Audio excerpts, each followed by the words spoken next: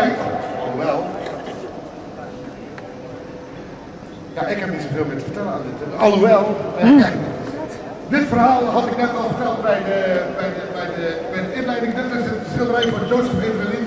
Die vertelde over dat hij vindt dat. Er stond het gewoon weer. Maar daar stond het vertaald. I always believe that one of art's purposes is to propose new worlds different from the Art also makes us pay attention for things we normally take for granted. Moreover, it always offers a way out, especially if things become unbearable. A promise of discovery, a promise of surprise, and a promise of hope. Ja, nou was het in het Engels, maar dat is niet zo erg. Hey,